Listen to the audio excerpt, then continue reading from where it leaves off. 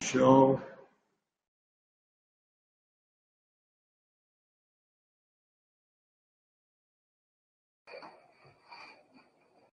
So, are you gonna introduce me? Yeah. I don't want to introduce myself. Okay. So um, thank you everyone for showing up in one of uh, our seminar. Um, so today it's a great pleasure to have uh, Professor George Martins as a speaker. Uh, Professor George is a, uh, a long time friend. We met, I think, first time in 2005 a uh, long time ago. And since then, we have been working together. A few papers we have published already, and and finally, I I I managed to convince him to come to uh, Federal University of Uberlândia. So we are pretty happy for having him as professor here. So he got his undergraduation at Unicamp. I, I told him I would skip the uh, the dates because you know. Please, please. Yeah. and his uh, master and PhD degree also was got in, in, at Unicamp. In 95, I think I have to mention, he went to Tallahassee and for a postdoc position with Elbio Dagotto, as far as I remember. And then uh, he moved to uh, Oakland in 2004. And later he went as a sabbatic, uh, for a sabbatical at Oak Ridge in Tennessee and he came to Uberlândia and he actually he spent a couple of years or maybe one year at Federal uh, University of Fluminense, right? Yes. Um, one year? Uh, two years. Two years. Two. Yeah. So then he came to Uberlândia in 1999. Oh, 19, yeah, 2019. Sorry. Uh, 2018. 18. 2018. Okay. 18. Yeah. So today he will talk about ferromagnetism and flat band in armchair graphene nanoribbon topological heterostructures. So Professor George, um, the microphone is yours. Okay, thank you. Thank you very much. Can you hear me okay? Perfect. Okay. So uh, I have to uh, thank thank very much the the introduction, my uh, good friend Professor Vernek, uh, and I have to thank myself for inviting myself because I, as I am the organizer, I am I uh, didn't have anyone to put uh, to speak today, and then I decided to speak myself. So today I'm gonna I hope introduce you to some uh, interesting material. Before that, I want to introduce the uh, group members and uh, collaborator. This is Patricia Assis Almeida, who is doing a, a master's with me. Uh, Lucas Souza Soares, who is doing an IC, uh, initiation of scientific uh, research. and Professor Mauro Schmidt, who uh, everybody, uh, all of you know him. He is a collaborator and he is doing the DFT calculations while uh, my students are doing the tight binding calculations. I, I, I, didn't do much. I am just taking the, the credit for their work. So uh, the initial theory that was the motivation and experiment that was the motivation for this work is in these very nice papers here. If you are at all interested in this uh, subject after I convince you that, uh, or I try to convince you that is interesting, please take a look at these, uh, these papers. Uh, I, I, have to, uh, I, I, did a little sneaky thing here. uh, all this research that's mentioned here was centered on the topological aspects of these heterostructures that uh, I will introduce. But uh, that's not really the case for us here today. We're gonna talk about another, another, another subject, but it's our intention, because this is very recent, this uh, work is still under, uh, we are still working on that, but uh, it's our intention to move next to investigate the topological properties of these systems. So uh, I should start uh, motivating the uh, working uh, flat bands and correlations. So this, uh, this paper, or these papers by Pablo uh, Herrero, had suggestions, I should put here, of unconventional superconductivity in twisted bilayer graphene. Uh, I should call your attention here to the uh, to the units. So this is milli electron volts. So these bands here are really very narrow. We could even call them uh, flat bands. That's how they are called in this paper. Here is the uh, graphene dispersion which, that's shown here.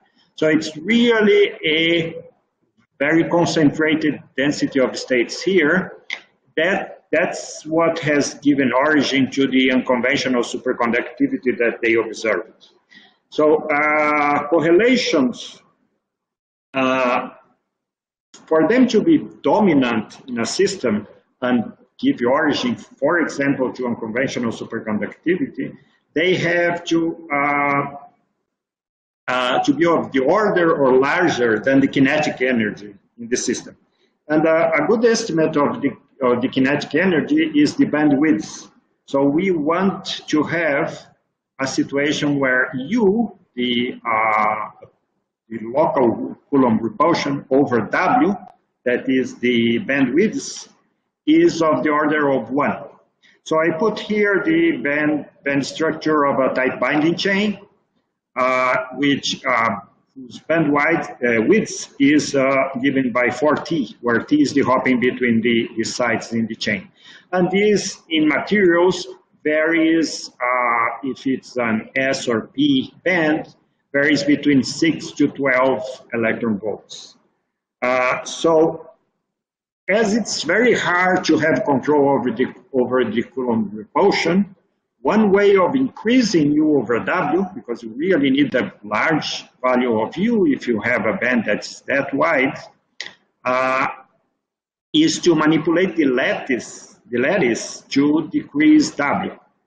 As they did here, the twisted bilayer graphene is a system where you are uh, manipulating the lattice by twisting one, one uh, one graphene against the other to uh, get to a band structure that around the Fermi energy is very narrow.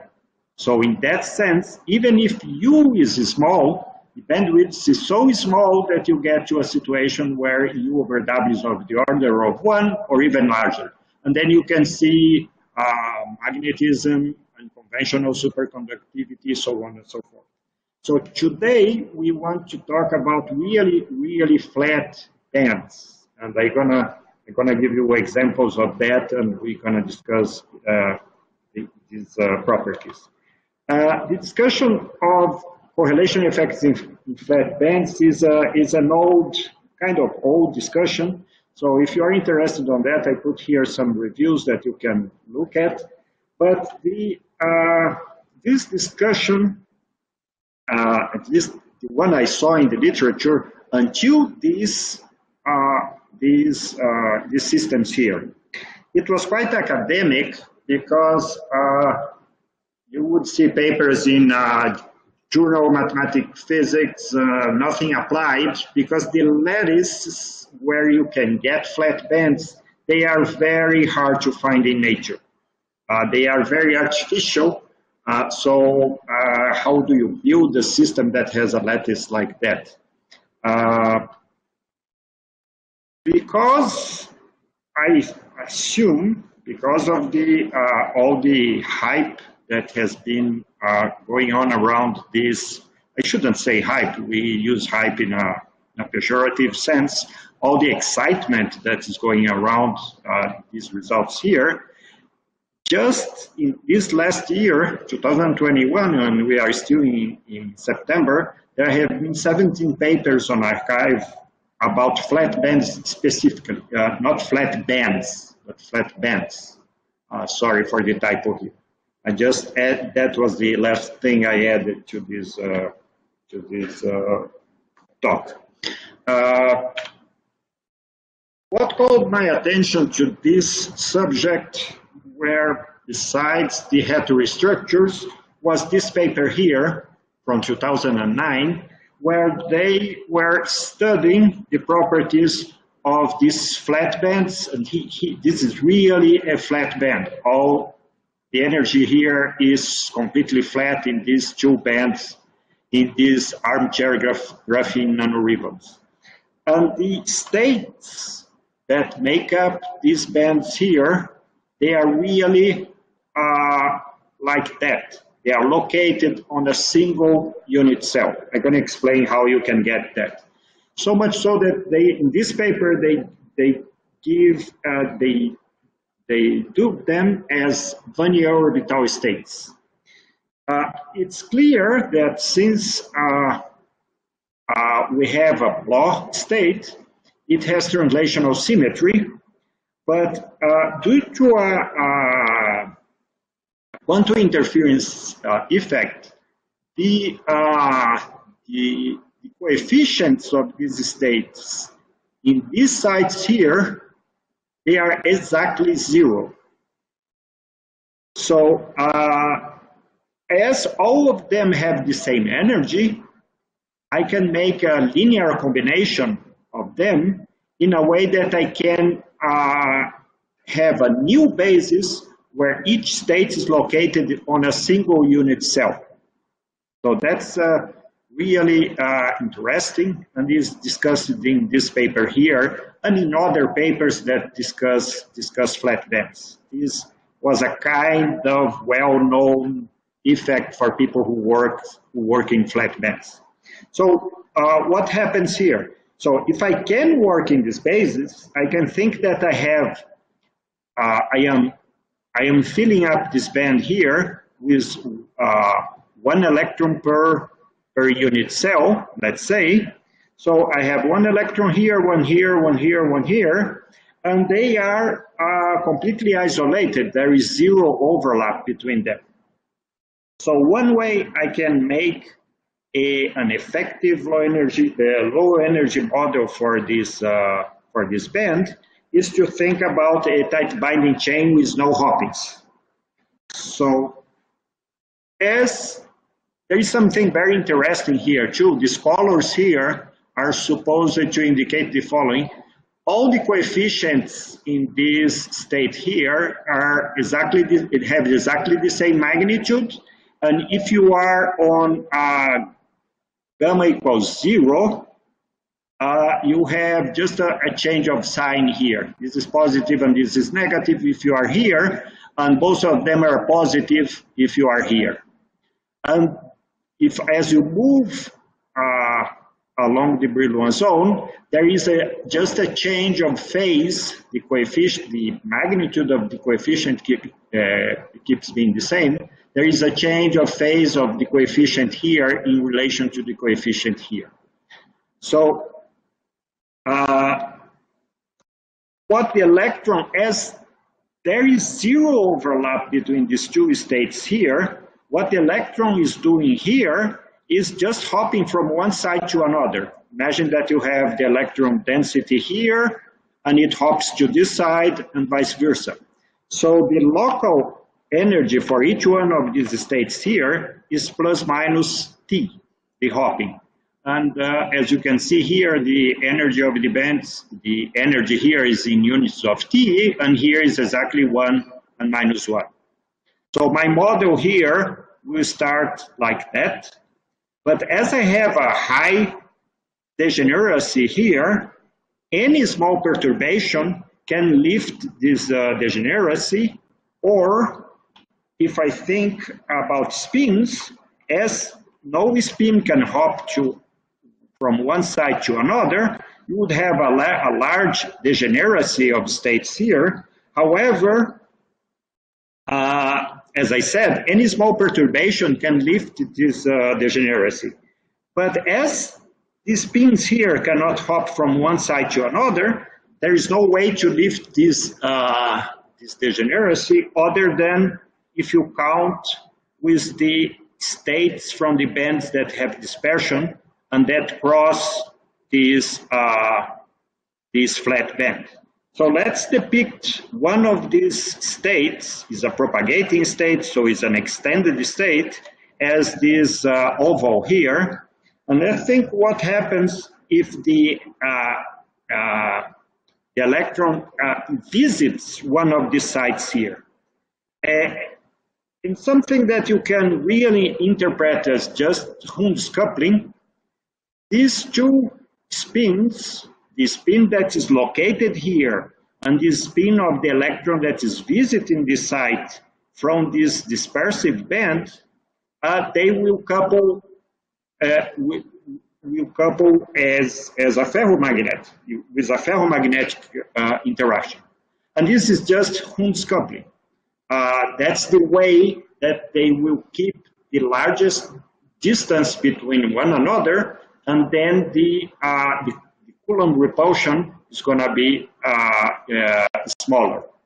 So uh, these guys here studying this system, they did the, uh, DMRG and DFT calculations and showed that if you dope this system uh, if you remove electrons, if you dope with holes, because uh, if you have half filling, all the sites are occupied here, and then the magnetism is frozen.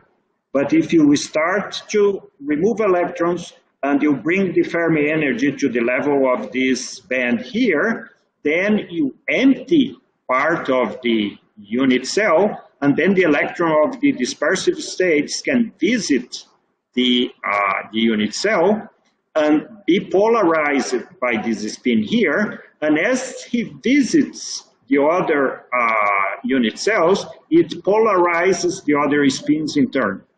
So the end result is that you have a completely polarized band that uh, uh, renders this system uh, a, a ferromagnet. And as it's very easy to dope uh, these systems with an electric field, uh, that becomes an interesting, an interesting subject. So, but what about our heterostructures that I didn't introduce to you yet? Do they have a flat band? Yes, they do. And in reality, they, they don't have a single uh, flat band. They have many flat bands. We, we discovered that. Uh, let me introduce to you these, uh, these heterostructures that look like that. The chemists, our uh, neighbors here, they uh, developed this uh, kind of synthesis here that they can make really, really nice systems. This is an AFM picture of a system like that. They are really, uh, really perfect. Uh, what is drawn here is exactly what you have here. Uh, the interesting thing about these systems is that uh, they are they are topologic. Each one of these strands of uh, armchair nanoribbons has a topology and has an, an invariant topological index that can be either zero or one. And see that this here is wider than this side here. So you have an edge here between the two of them, where if you have a change in the topological index, you expect a protected edge state here, which is depicted here by the density of states of this, uh, this edge state.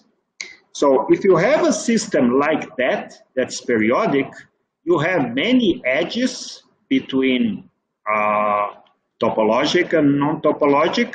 So you have a sequence of localized states, of edge states, whose overlap is going to depend on the structure of your of your uh, nanoribbon.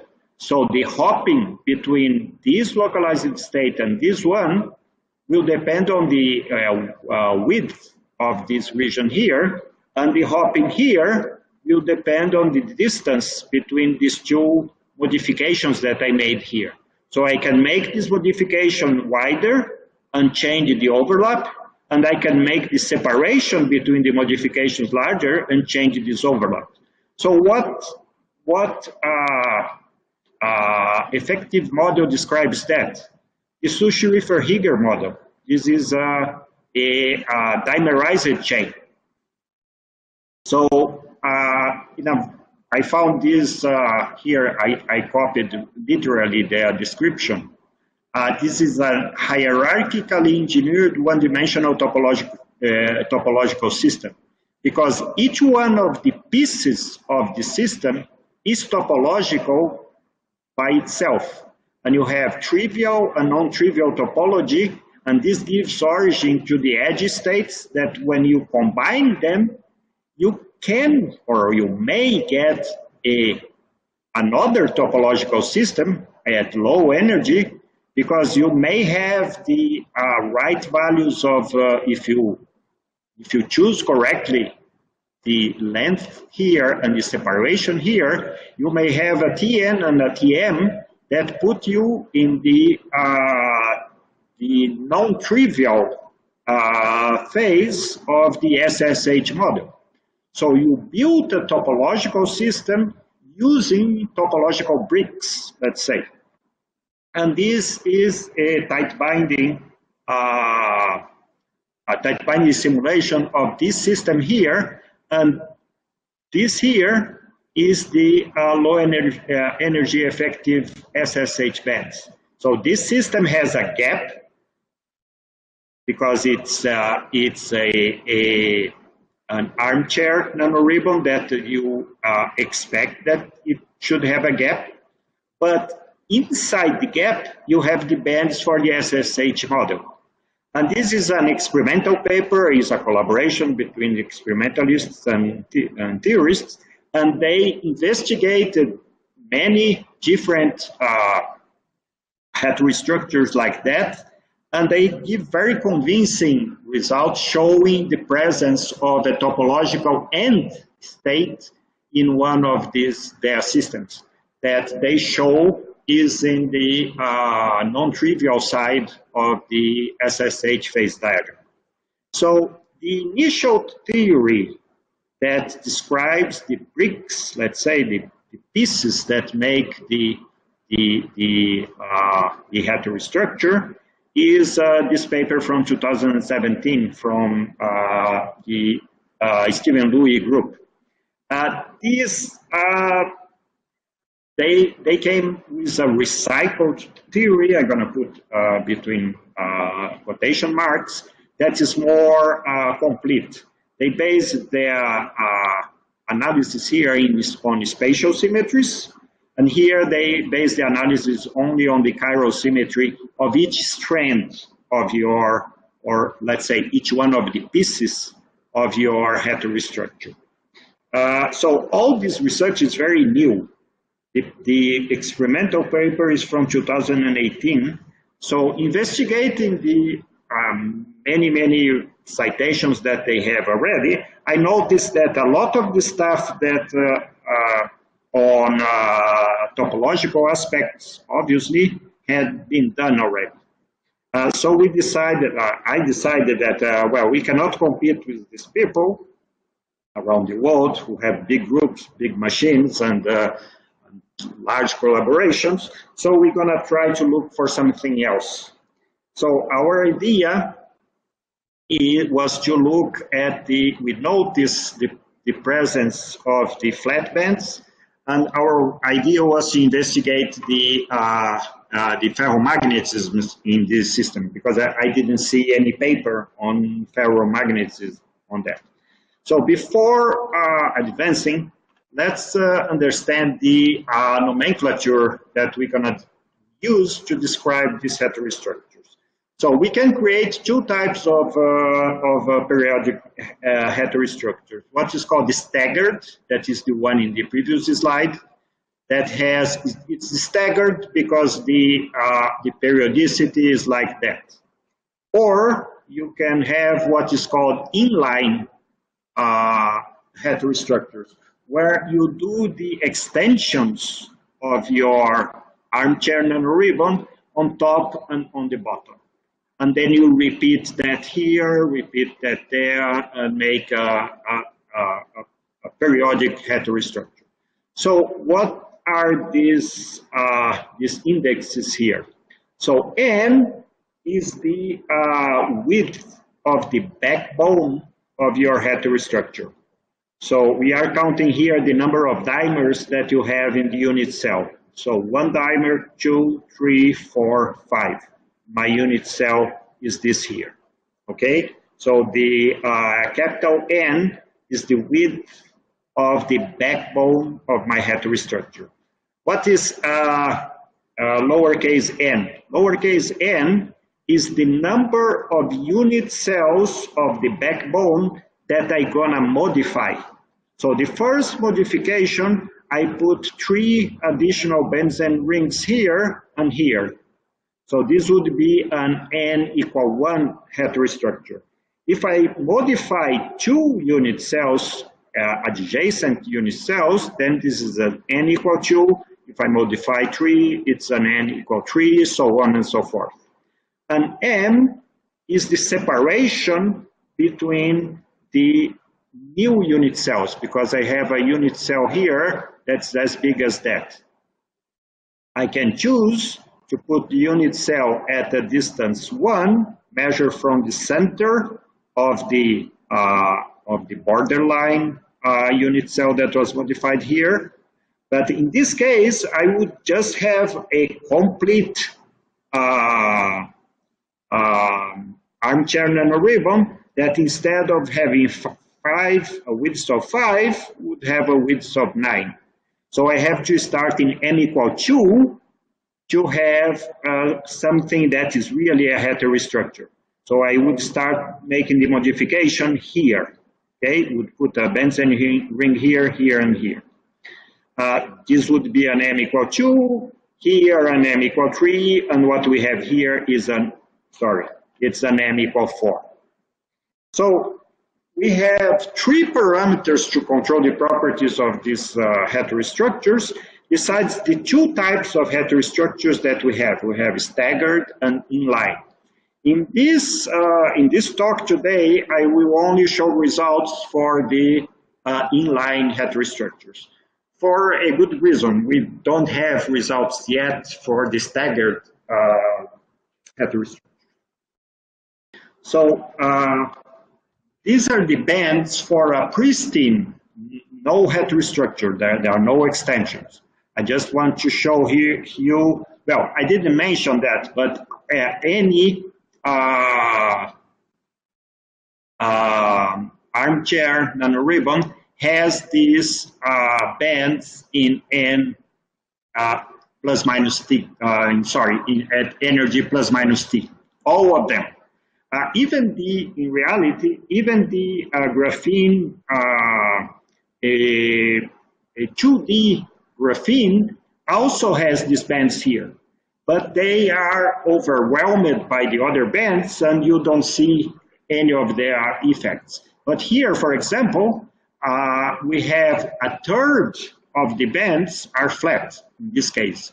So you expect that you're gonna you're gonna be able to see their uh, effects in a system like that. So here is uh, the uh, charge density of this band here. Uh, this was calculated, and I show you here, this is an N equal 3 uh, graphene nanoribbon. I show you here, I put another benzene ring here, another here, and I have a, an N equal 3 armchair nanoribbon. So this was calculated uh, this way. If I have here the Hamiltonian for the for my system, uh, these are the bands, n equal 1 to 6. Each one of these states can be written like that. On this I here is uh, 1 to 6 are the uh, states, the P state, the PZ states uh, here on my unit cell. So what I am showing you here in a, in a color map is just this calculation here. I is the charge density for the uh, band uh, minus T. Okay, for the for this flat band. Uh, I'm showing that in a little bit of detail because you're going to see a lot of these uh, plots here along this top. So let's go to the to the uh, results. So for a tree AGNR one tree, so m is equal one, m is equal three. So I have one, only one unit cell that was extended and they are separated by a distance of three unit cells until I have another one, another one, another one. And see, we have one, two, three, four flat bands here. So it's a, um, a multitude of uh, flat bands.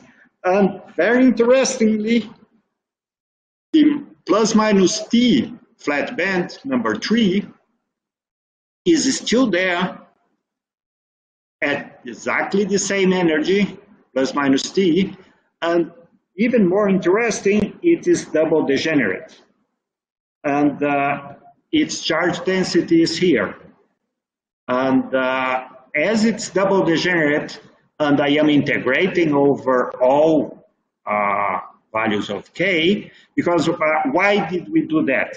Because if you, if you pass an STM on top of your system and you tune it in a way that you are looking at the density at this energy, that's what you should see because you are seeing all values of k at the same time. That's why this here is uh, the closest that you can get to uh, to simulating what an STM would see if you tune it to look only at this band here.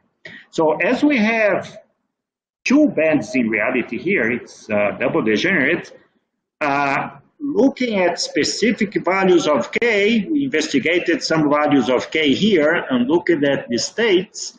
One of the bands is this one here, so it's very reminiscent of the Wannier orbital states of the pristine uh, armchair nanoribbon. And the other one is kind of similar too, because in the region here, you would expect that, as I showed you in the previous slide, that that Wannier orbital that represents the band in plus minus t should look like that. So you get a hybrid of the two of them. Yes. Yes. Sorry for interrupting. Yeah, yeah, uh, go ahead. The double come from uh, the uh, action symmetry about the, the ribbon, or do I have it's, it's spinless, right? Spinless model. It's uh, uh, up to now is spinless, yeah. Right. Perhaps you, you have some flexion symmetry about the center ribbon. It it's not exactly that. I and uh, I will tell you why soon.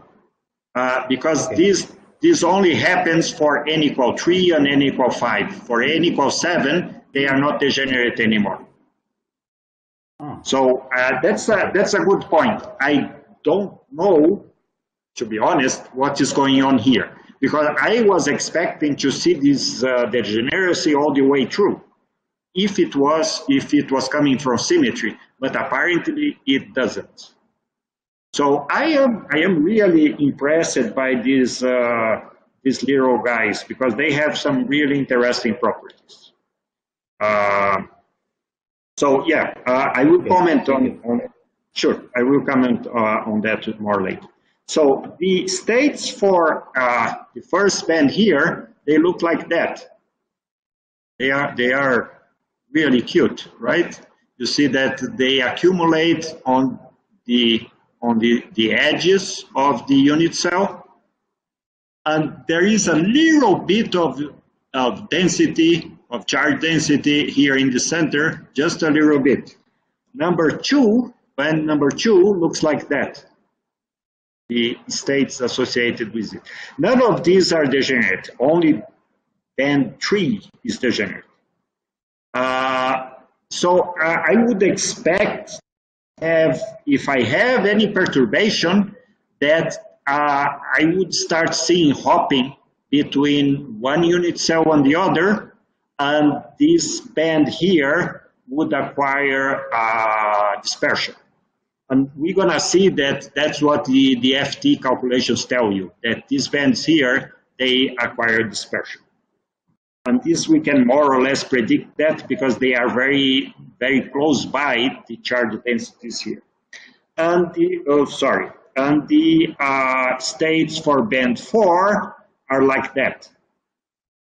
For the same reason as the uh, charge is accumulated here, uh, close by between uh, adjacent, uh, on the edges of adjacent uh, unit cells, uh, we expect that this here will acquire dispersion too if you introduce a spin orbit, uh, other orbitals, or if you do a if you do an honest calculation, a DFT calculation, not a a model calculation. That's what we are doing here with the tight binding. George, uh, Nelson has a yeah, yeah. Okay, if you can speak now. I, I, sorry, I can't hear you. You can, you can, yeah, she has some microphone, so you can read. You can read the uh, question if you want. You can read. Uh, sorry, I, I, it's it's breaking down. So, question on the chat. Okay, okay, okay. So, uh, okay. may may may I continue? No, I can read it for you. Yeah. Uh, well, wait, uh, because I have, uh, let me see here. Let me go to the chat. Uh, I don't think I can get there. Uh, yeah, I can. So there is a question you were saying.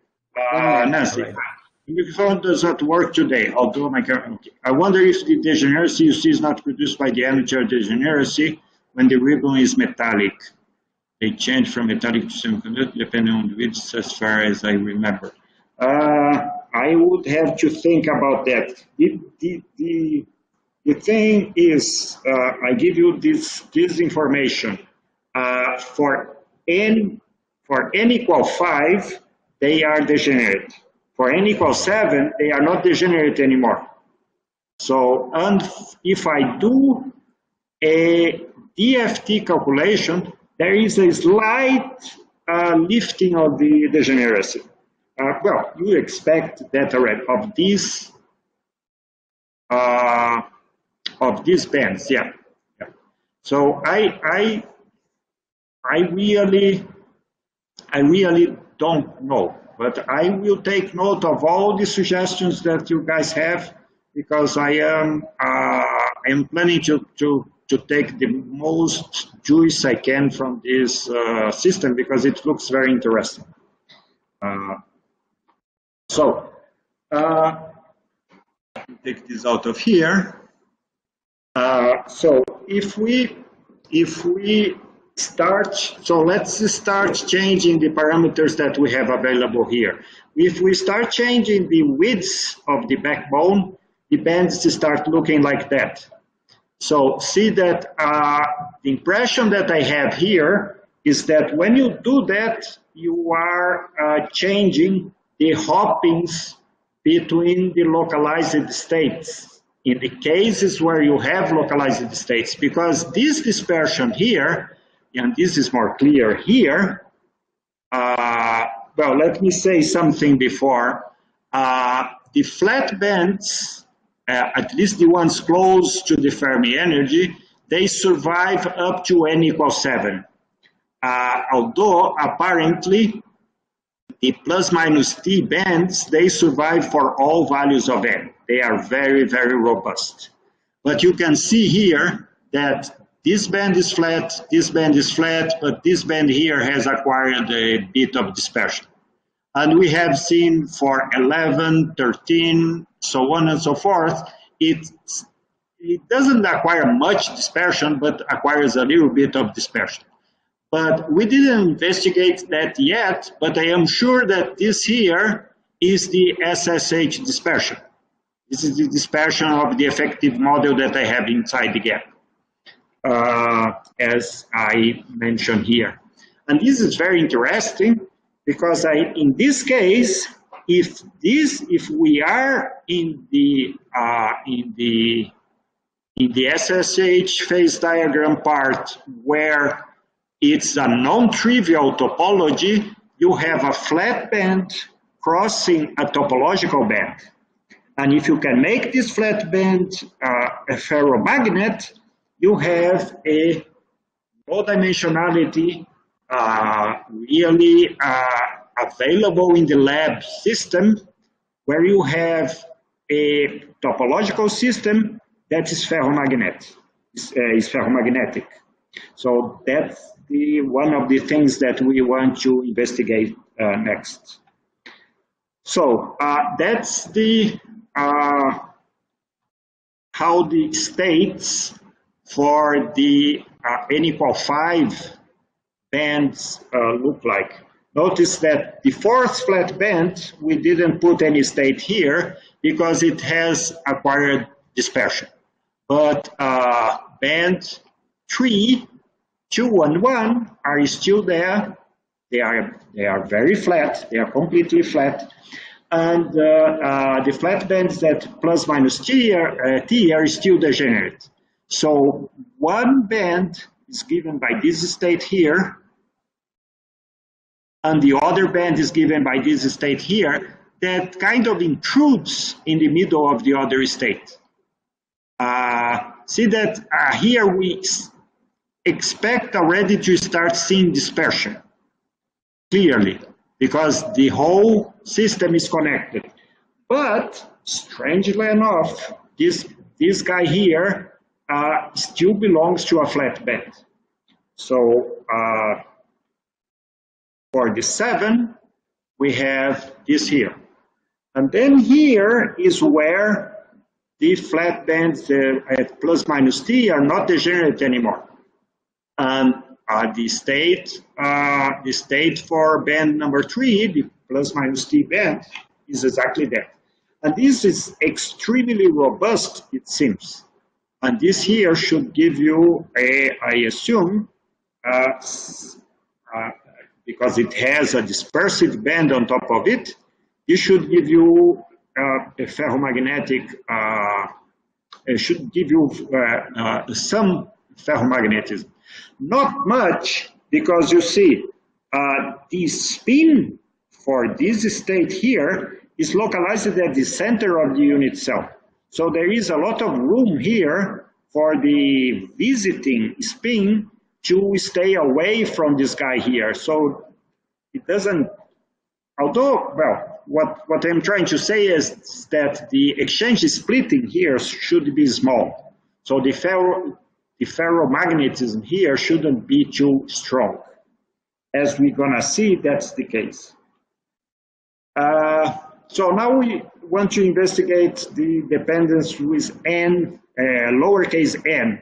Remember, lowercase n gives you the size of the unit cells, or in other words, how many unit cells you are modifying in your backbone.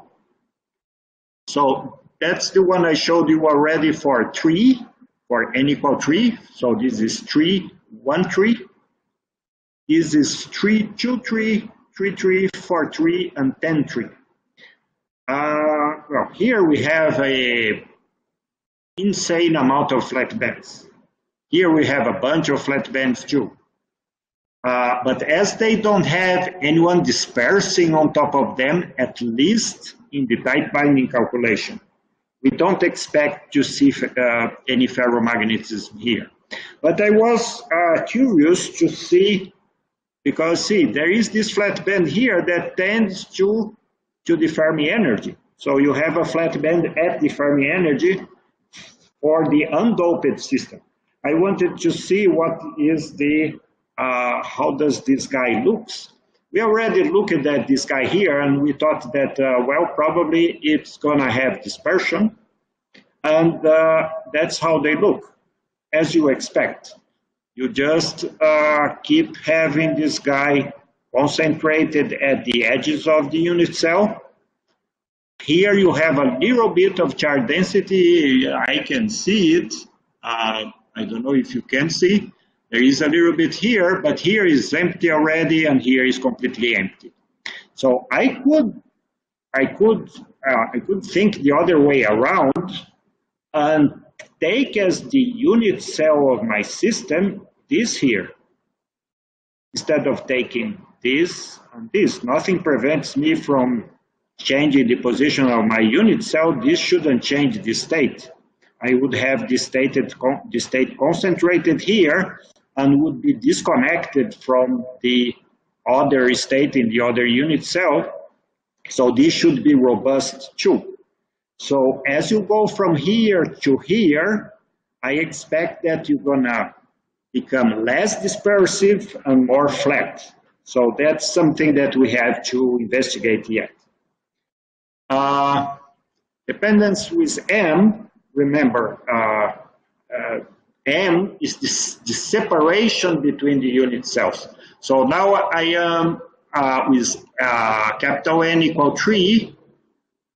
I am keeping n uh, lowercase n equal 1, the smallest possible uh, unit cell, and I am increasing the separation. So I have 2. I am not showing the result for 3 because I showed you already that and it wouldn't fit nicely here uh, m equal 4, 5, and 10. Uh, see that uh, qualitatively, I have more bands, sure, because the unit cell is larger, but qualitatively, it doesn't change much, although, and this is for n equal 5, lower, um, uppercase n equal 5, and the same sequence here, 1, 2, 1, 4, 1, 5, and 1, 10. But I am interested in this guy here, and this guy here, because this here looks like the SSH model band that could be topological and non-trivial or not, the same thing here, and the topological band would provide the dispersion that could render this guy here, here ferromagnetic. So I could study the interplay between ferromagnetism and topology for this system here if I am lucky, right? If I am in the right side of the phase diagram for the SSH model. Uh, so now we, we get to the grown-ups stuff because tight binding is for kids. So we were, uh, uh, myself and the, and the students, we were playing around with tight binding and uh, Professor Schmidt, who did the DFT, is doing the grown-up stuff. So these are the, DFT bands, and I put the tight binding bands here to uh, compare. And we see that, uh, well, tight binding doesn't do that bad of a job. There is not too much difference. You see here, uh, these are the four, the four uh, flat bands. Although this one here, as we expected, kind of, because uh, we developed this knowledge after uh, looking at all the data in reality. Uh, but you could tell from the beginning that this guy here probably would acquire some dispersion, this guy here. As expected also, the, degeneracy, and you can see this here, see that there is the green band here that's perfectly flat, which is the one, this is the plus minus t band, right? This one here is the one where the uh, Wannier orbital state is really concentrated at the center of the unit cell. And the other one that the,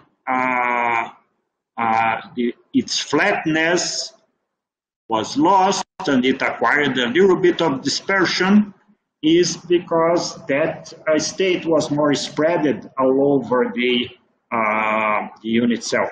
So any perturbation spin orbit or this or that would render a connection between, would provide a connection between uh, different uh, unit cells and then uh, result in dispersion. And the, but that was expected already. And also as expected, uh, band 4 acquired a little bit of dispersion too because it was located at the edge of the uh, of the unit cell. Not so much like this one here. So it makes sense that there is more dispersion here than here. So uh, on, a, on, a, on a kind of a dig on, uh, on Professor Tomé, who did the DFT calculations, uh, the conclusion that we, we, get with these results here is that tight binding is so powerful that it can predict the DFT results. So we kind of knew everything that, that, that DFT uh, was going to show us, uh, just looking at the results at tight binding and at the uh, charge density for each one of these states. I, I, I hope that Professor Tom, uh, Tomé doesn't take this seriously, right? So that's what why I put this here. Uh, as it's true, we know that we only got to these conclusions after we saw the results here. It could be the opposite. it could be the opposite, yeah. Okay, so here is the DFT results at zero doping. So as you, going back here, uh, remember the discussion I made about the uh, Wannier orbital states? If you are at half filling, the unit cell is completely full. You have one electron in each site. So there is no Hund's coupling possibility. You cannot have uh, Hund's coupling uh, because the if any electron is gonna come visit, all the sites are occupied already, and this electron will have to uh, go with the spin opposite to the spins that are there already. So to be able to see the ferromagnetism of these bands here, uh, you have to start doping. You have to empty the unit cell a little bit so that you can have the uh, effect. So, and that's exactly what happens. So here is the, uh, the Fermi energy, and this is for uh, uh, when I remove 0.1 electron from each carbon in my system. The unit, the Fermi energy is here now, and uh, you have these two different colors, uh, blue and red. Blue is the spin up and red is the spin down. So indeed, this system becomes ferromagnet, uh, ferromagnetic, and this here gives you an estimate, this energy here gives you uh, an estimate of the exchange splitting of the system, so of the the ferromagnetic exchange interaction that you have in your system. And when you dope uh, quite a bit more, now you take 0.23 electrons from each carbon in your system, you see the Fermi energies here, and the exchange splitting is huge, really, really big, indicating that you should have a very healthy um, ferromagnetic state in the system after you dope with uh, 0.23. Uh, so these results here, uh, they show against hole doping, so going from 0 to 0.35 uh, electron hole uh, per carbon uh, for two different heterostructures, three AGNR13 and 5 AGNR13. And what is that here? That is the, the difference in energy between a state with maximum spin in the DFT calculation and the, a state with, uh, with minimum spin, which doesn't necessarily zero, but if you call this paramagnetic and this uh, uh, uh as a ferromagnetic state, then if this difference is negative, this means that uh, your, ground is, your ground state is, is ferromagnetic. And you see a difference of uh, uh, 0.15 electron volts per unit cell. So this is uh, strongly, strongly ferromagnetic. So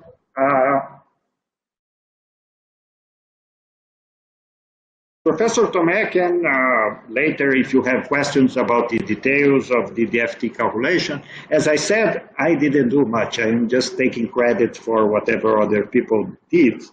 You can ask him the questions on this part of uh, uh, DFT.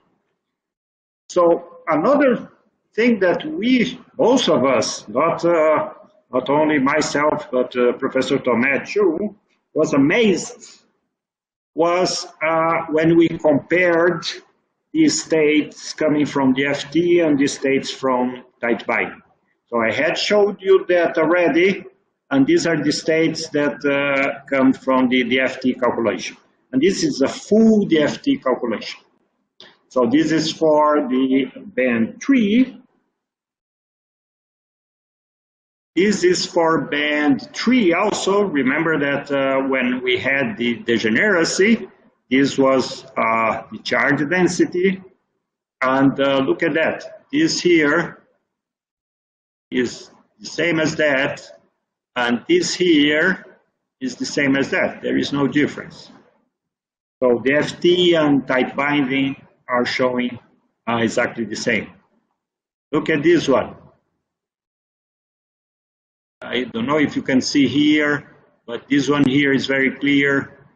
So it's exactly the same thing. And uh, this here, it's kind of hard for me to see here, but there is something here and here that is the same here. It's even it's stronger here than it is here. So even the details are similar. There is a little bit of charge density here, and there is a little bit of charge.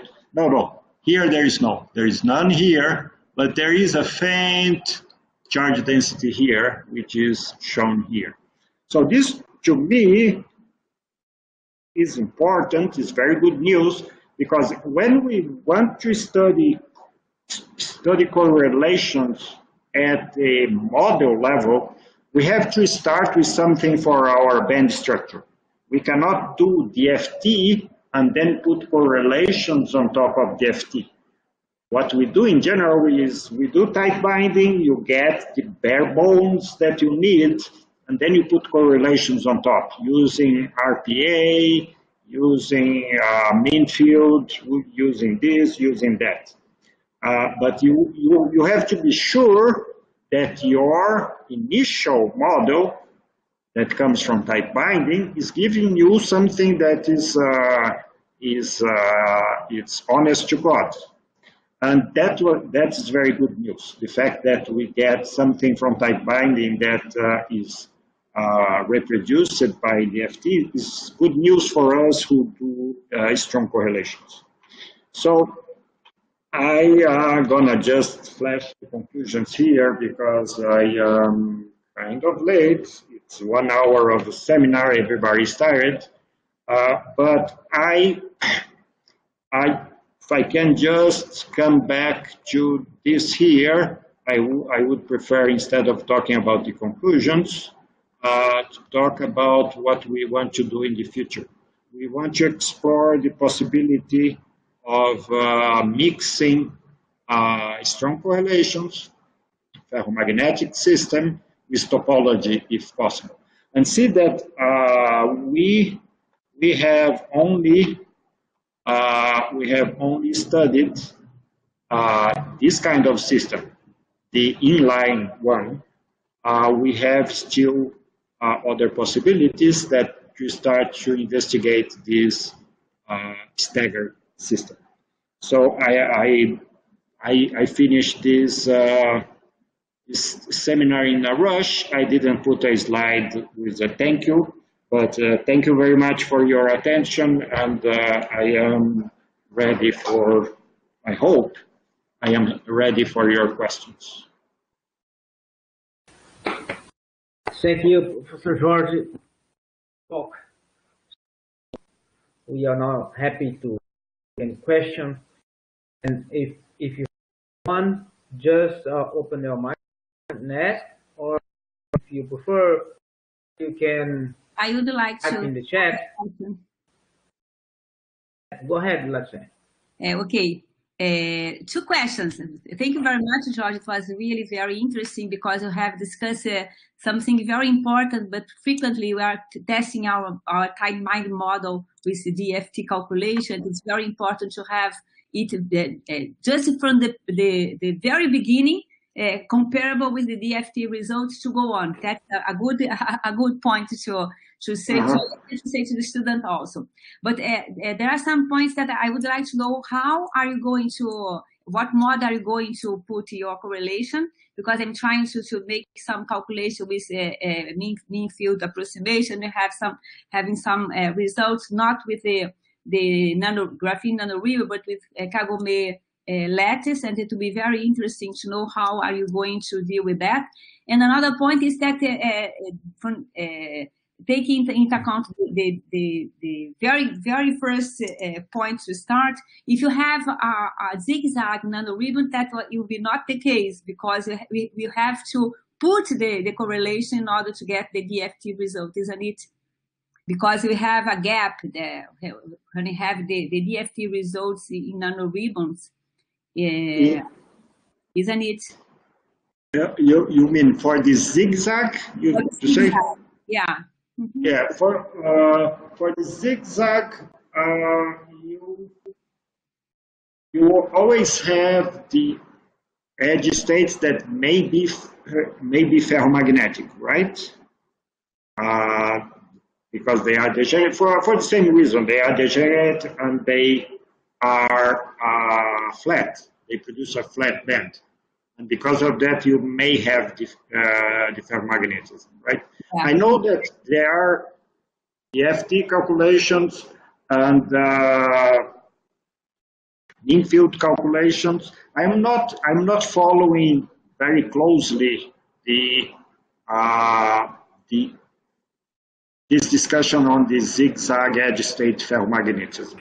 I know, I looked at some papers to have an idea of how this was being treated there, but see, the mechanism here is very different because those uh, those edge states there, they are not like these uh, Wannier orbitals here. Yeah, yeah, completely different. They are completely different. They are extended. So there are um, what I have seen uh, was uh, or mean field, I think. This I mentioned here, I didn't, I kind of looked at these uh, results, uh, these calculations. I mentioned here that, uh, let me enlarge this here. Here, here, okay. That these guys here did the DMRG calculation for this system here. So what I, I don't know if uh, Adrian is there. No, Adrian is not there. But I talked to Adrian. Adrian is a specialist on DMRG. I talked, uh, talked to him about doing uh, DMRG for this kind of system here. And he said that, well, it's possible. These guys did for this. We can try to do the uh, for this one here. Uh, so the, the other the other question you did you ask two questions or one? No, no, it uh, what what kind of uh, of uh, uh, model you are going to put into your your tight binding model to include the correlation? But you, you Uh, I am thinking about doing a Stoner analysis. I don't know if uh, how how exactly to do that yet. I would have to think because you are you're not doing that at half filling. You have to go uh, put a mu there, and uh, but uh, it's uh, it it could be could be a way to go. Is doing a Stoner analysis. okay. Mhm. Thank you. Sure. All right. Any other question? All right. Raise your hand I, I, to. Hi, Sergio. I'm- Sure. hey, Go ahead. I'm having, tr- I'm having Nice trouble to you. connecting. Um, how you doing? Nothing, Hi, nothing. Sergio. How are you? Great. So, um, what's up with the beard, man? It's uh, it's uh, we we are going to join the Taliban. Anyways, no, I my my question is a little bit of a follow up to Andreas in that. So, it in the DFT calculation, the the it is almost like a mean field. Is it true? Uh, where where is Tomé? Tomé, that's for, that's for you. Oh, oh, I'm, sorry, Sergio. I was listening. Can you repeat, please? I think Sergio is uh, frozen. He said he said that uh, DDF is almost like a mean field calculation. Is that true? Right? Is it? Yeah. We, we include the the one quarter of uh, exact exchange on that also. So, well, we don't have correlation, but we have something. It it's kind of mean field. I would say the DFT is a little bit more than that, right? Mhm. We capture that. Yeah. I mean, sure. Okay, so so because people do these uh, DFT plus U sometimes, Yeah, I tested that too. and are diff- Yeah, but I I I- I, think use the the hybrid functionals, which include part of the exact exchange, which is uh, we, we describe better those those interactions. Okay. Okay. Um, all right. And the the other question, uh, and again, sort of follow up to Andreas is, so one.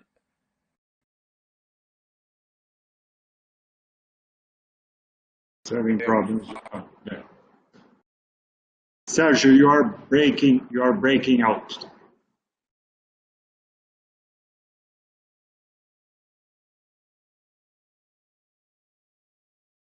electric I cannot hear you. Sergio, you you are breaking out.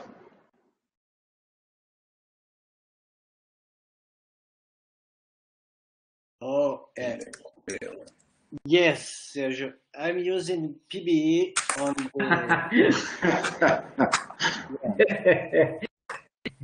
uh, but The question was from Mariana. oh Mariana yes, has. Mariana, Mariana. I don't pay anything here. Oh yeah. Not Yeah, it's a, it's a, it's a PBE and the first uh, results, and then we include the uh, uh, HSE, right? W- w- Oh. Where the exact Okay. exchange is included. Yeah, Okay. it's, it's, it's an hybrid. It's a mixture of the uh, Mhm. three different uh, hybrid functionals, right? Hmm. Okay.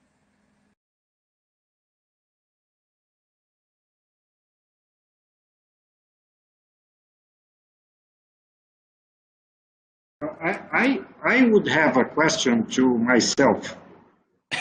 that, is, that is the following. Uh, yeah, uh, but then I, as I don't know the answer, that's why I am asking the question. Uh, the question goes to uh, the audience. What what interesting thing, if you if you are working in this field, what interesting thing would you you would you want to know if I can mix uh, non-trivial topology with with ferromagnetism? What would be the things that you would go after to uh, that have not been seen yet? Because at the the appeal of the system to me, and uh, maybe I, I should have shown that here, is that uh, these are the experiments, the STM experiments for the, and they are looking at the charge density here, and this is the charge density of the, the SSH uh, bands. So they are really uh, what they were uh, expecting. That is this here. So look at this here and look at this here. So the effective model is really an SSH. So, and if you are in the uh, non-trivial part of the phase diagram, if you add if you add ferromagnetism on top, would you see anything? Would you expect something, or you wouldn't expect anything? And uh, we are just uh, uh, looking at something that's cute, but it's not interesting. That's my my question because that's what we are planning to investigate next.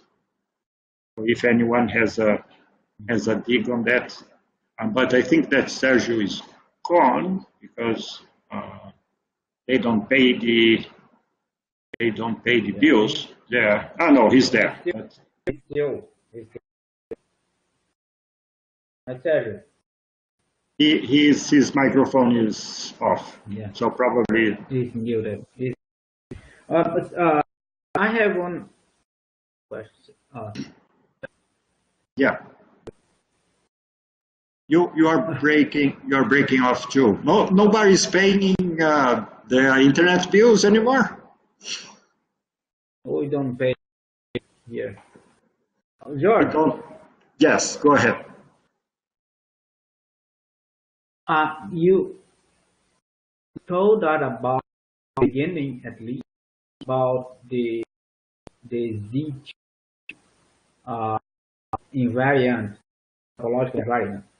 Yeah, yeah. And I was wondering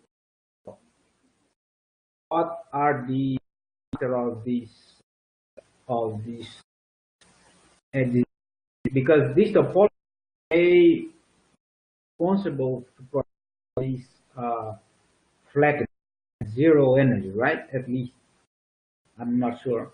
Uh, My my question is what essentially of this because here, for instance you have that right at the edge or in this region have an edge state is in blue uh-huh, is this uh-huh. zero zero energy state so this These are zero energy states, yeah. But the thing is, as you have uh, you have them side by side here, uh, so the they they overlap, and there is a hop in between them, and then uh, they acquire dispersion. So they move out of the uh, equal zero hybridized they hybridize. Yeah, that's exactly the idea. You want to form this system here. Mhm. Okay. Okay, that's it. I think I was I was breaking the generic uh the number of yeah, number of sites. Uh, the, the degeneracy of this band here. Yes, yes. At some point, you depend on the number of layer or, or site, right? The Uh, the number of width, the width of the, so you have this, Yes. you have this case here, which is degenerate, n equal three. You have this case here that's degenerate, and then this is not degenerate anymore. Case of the ribbon. Uh, you just make the ribbons wider. Right. In this sense, you, do you change the the topology uh, the, the of the system by keeping uh, the width of the ribbon? Okay, so that that's the whole that's the whole problem with the remember that I mentioned that the initial theory that uh, discussed the presence of these states here uh, was based on spatial symmetries. So they made a table there that said, well, if your if your nanoribbon, if your piece of nanoribbon is like that, then Z2 is uh, zero one. They even have a they even had an equation for that. Uh, uh, I mean Steven Louie group. uh, then you, uh, you can calculate and everything. Z2 is zero, Z2 is one, and then you know if you're gonna get an edge state if you put two of them together. It's like a, a, a manual for getting edge states or not. But then it turns out that uh, it, it didn't work for all cases. So then they moved to uh, what I assume is a more powerful uh, investigation of what is going on, where don't, they don't use any spatial symmetries, they use only the chiral symmetry.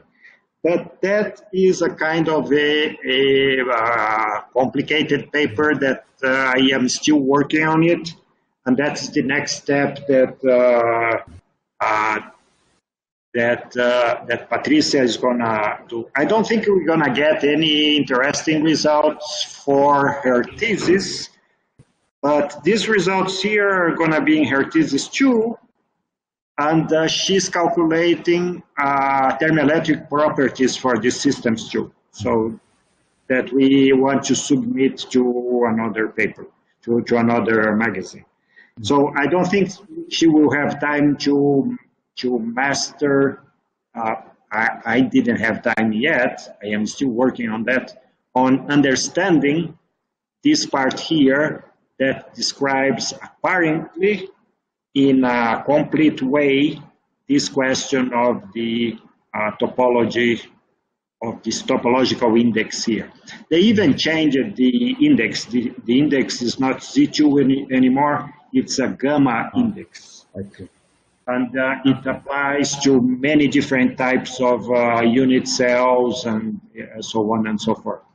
But uh, it's it's kind of complicated. As I am still kind of new with this whole story of topology, uh, sometimes I struggle with some of the concepts there.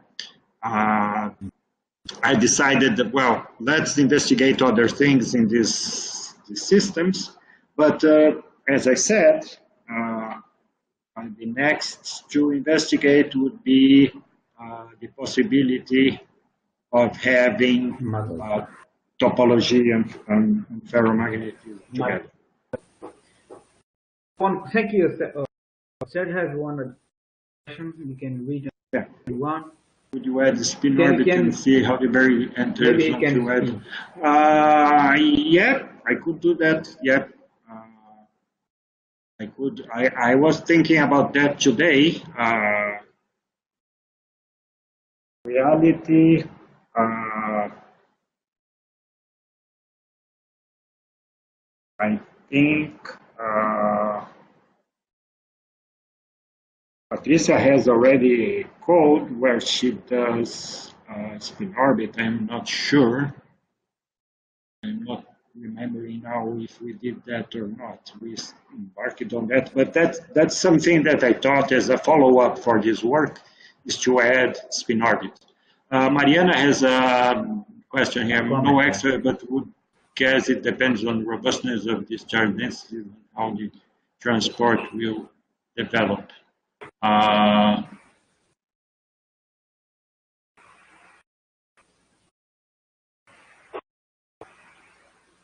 I'm not sure what point she's uh, she's mentioning here. Probably, probably she's she's uh, your question. Ah, my question. Okay, okay.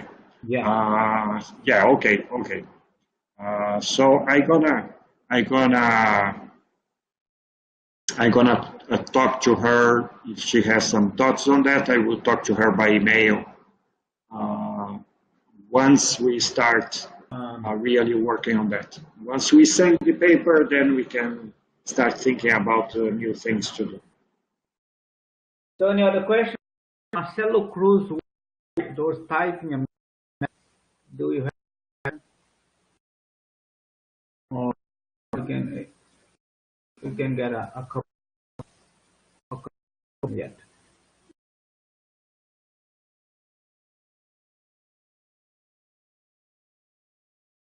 Uh, yeah. No? Two questions coming. Uh, questions, questions coming? Okay. Oh, okay. Uh, Sergio is leaving. Hi, Sergio. Sergio, are you calling?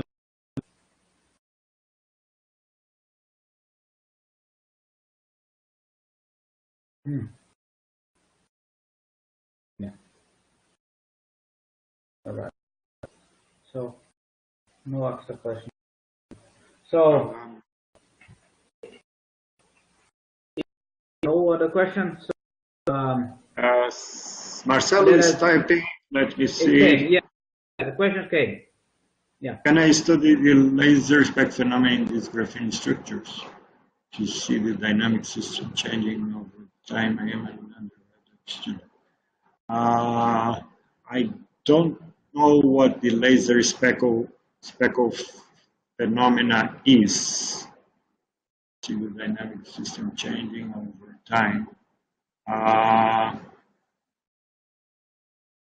I, I don't know what this, this, this phenomenon is. Um, so we maybe um, maybe you can send me uh, you can send me an email and then uh, we can discuss that in detail maybe because I would have to to understand what this Drop, your, I think, has your email. Yeah, uh, let yeah, let me put my email Okay. here. So if any anyone has a uh,